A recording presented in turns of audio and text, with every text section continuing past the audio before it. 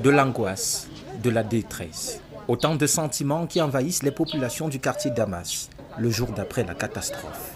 Ce lundi matin, elles sont par milliers ces personnes qui ont accouru ici au lieu du drame. Sous leur regard, les riverains assistent à la fouille par les éléments des sapeurs-pompiers.